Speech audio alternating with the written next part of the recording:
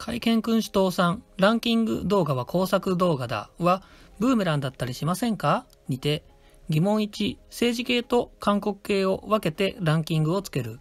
疑問2、常年さんを韓国系にカテゴライズするという2つの疑問を抱いたことをご紹介しました。これに対して、ご本人よりご返信がありました。はじめまして、健康さん。疑問にお答えします。疑問1、政治系と韓国系と分けてランキングをつける。上位チャンネルは結構固定化されがちなので、なるべくたくさんのチャンネルを扱うためです。疑問2、常年さんを韓国系にカテゴライズする。単純に先週韓国系でランクインしたから今週は休みです。とのことです。まずはご返信いただいたことを感謝したいと思います。会見さんありがとうございます。私の返事はこのようなものです。会見君主党さん、こちらこそ、はじめまして、ご返信ありがとうございます。1、DHC など組織系と韓国系を政治系から排除することで上位固定化を防ぐ件了解しました。2、個人的には常年氏は韓国系メインではない、恣意的、動画の言葉では工作動画と感じます。しかしご本人に悪意はないのですね。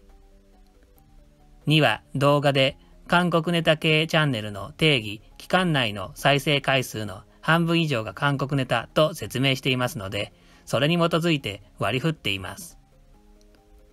またしてもご返信ありがとうございます。そうだったんですね。失礼しました。集計するだけでなく割合まで出していたとは。以降の韓国ネタランキングの集計時点で常年さんが韓国動画の割合が少なかったら、また政治系に戻ることもあり得るんですね。了解しました。というルールで集計しているというお答えでした。会見さん、ありがとうございました。ご本人の言葉も踏まえて感想を述べたいと思います。1、常年さんが政治系になる定義。会見さんのお言葉通りですが、会見さんの集計時点。会見さんが韓国系と定義する動画の再生数が50%以上ということのようです。これは集計日を会見さんは示されているので、ある程度の確認は可能そうですね。2、カテゴライズ自体の意味。上位チャンネルは結構固定化されがちなので、なるべくたくさんのチャンネルを扱うためです。とありますが、たくさんのチャンネルを扱うという意思を入れる意味は個人的にはよくわからなかったです。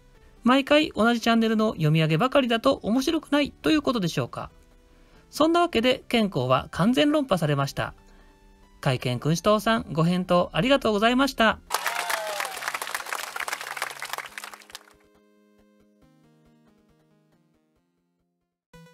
健康くんは勝手に勘違いして迷惑野郎だよね。